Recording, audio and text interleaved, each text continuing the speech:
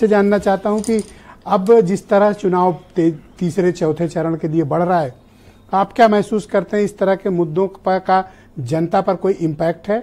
या फिर ये सिर्फ़ बयानबाजी तक सीमित रह जाएगा? वीरेन जी। देखिए, ये चुनाव गारंटी से शुरू हुआ था और अब हिंदू और मुसलमान पर आ गया है। निश्चित ही समाज में जब धार्मिक आधार पर बातें आती हैं तो फिर वहाँ पर ध्रुवीकरण हो सकता है। आप इसको एक धर्म युद्ध भी कह सकते हैं जिसमें अपनी अपनी जीत के लिए हथकंडे अपनाए जाते हैं। ब्रजेश जी चुनाव में एक तो मतदान कम हो रहा है। मतदान कैसे बढ़ाया जाए गर्मी कैसे पैदा की जाए? गर्मी बाहर पड़ बहुत रही है। तो जो ये उत्तेजना वाले भाषण होते हैं ये गर्मी लाते हैं। और ये माहौल बनाते हैं कि अब मौका आ गया है कि आर पार कर लो, नहीं तो पाँच साल फिर पछताना पड़ेगा। आज चुनाव भले ही राजा महाराजा औरंगज़ेब, नवाब चमड़े सिक्का चलवा दिया, कोई मूर्ति भंजक था, कोई तमाम सारी बातों पर लड़ा जा रहा है।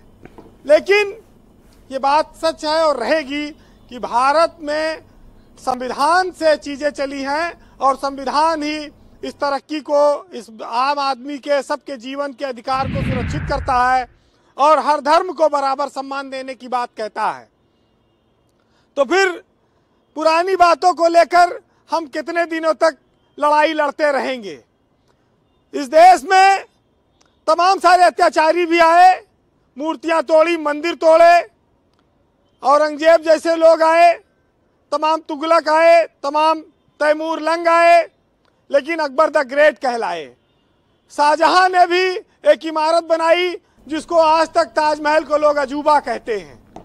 उनके भी नाम अलग अलग तरह से दर्ज हैं इस देश के इतिहास में। दबावों की वजह से ही उत्तर प्रदेश को गंगा जमुनी तहजीब का शहर कहा गया। आखिर कुछ न होता तो फिर ये सब उपमाएँ, उपाधियाँ न दी गई होती। जहाँ जो ज़्यादा संख्या में है, उसने कमज़ोर को सताया। उसकी वजह से आज ये समाज में विभाजन पैदा हुआ। तो मुजफ्फरनगर में एक दंगा हुआ था, जिसको लेकर बीजेपी ने बहुत बड़ा आंदोलन किया। बीजेपी के कई नेता उसमें जेल में भी गए थे उस समय। वो मंत्री भी बने, लेकिन आज मंत्री नहीं है। तो ये सब बातें रही जो देश में आई गई। लेकिन वोट परसेंट को बढ़ाना है। अब तो बीजेपी को तीन सौ निन्यानबे पार ही करना है चार सौ पार कहाँ रहा?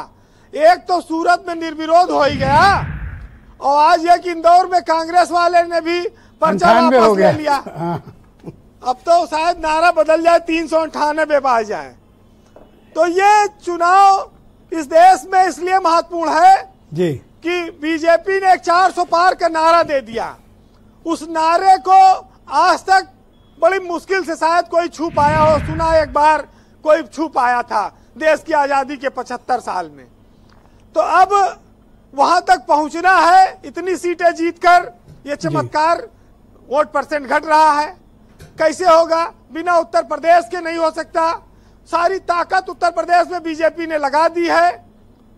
प्रधानमंत्री से लेके अमित शाह और योगी आदित्यनाथ और राजनाथ सिंह ने भी आज नामांकन किया।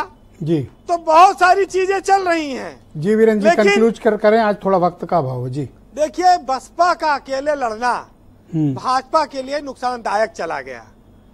हालाँकि मायावती अब मुसलमान कैंडिडेट काफ़ी उतार रही हैं बदल भी रही हैं लेकिन जो देरी हो गई शुरुआत में वो नुकसान में हो गया थोड़ा मामला।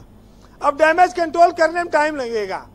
हालाँकि ब्रजेश जी देखिए भाजपा होम्योपैथिक के उस डॉक्टर की तरह है जो कहती है कि सीसी में से चार गोली ढक्कन में निकाल के खाओ। और जब निकालो तो छह गोली गिर जाते है। और फिर दो गोली अंदर करने के लिए फिर ढक्कन में ला तब तक फिर चार गोली अंदर गिर जाती सीसी में। तो यही चक्कर में चार गोली ढक्कन में आ ही नहीं पाती और आदमी एक खेल में उलझ जाता है उसको मज़ा आने लगता है कि दो गोली गिराना चार गोली उठाना उसी में उलझ जाता है। वो अपनी मरज भूल जाता है। तो ये लोग करते हैं, आपको याद होगा, लोग देखते होंगे।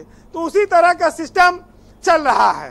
अरे, इस देश में तरक्की की बातें होनी चाहिए और किसके खाते में कितना रुपया कौन देगा फ्री में, ये सबसे कोई देश आगे बढ़ने वाला नहीं है। बहरहाल, सुनिएगा कि सबकी मंशा चाहे जो हो, लेकिन कुदरत का अपना एक अलग निज़ाम है। वो जिसको चाहेगा, वही चिराग आंधियों में जलेगा। एक शायर ने लिखा है कि रात तो वक्त की पाबंद है ढल जाएगी। देखना यह है कि चरागों का सफ़र कितना है और खुली छतों के दिए तो कब के बुझ गए होते कोई तो है जो हवाओं के पर कतरता है। बहुत शुक्रिया वीरेंद्र जी आपका बहुत बहुत धन्यवाद। ग्राउंड ज़ीरो से अपने इनपुट फीडबैक और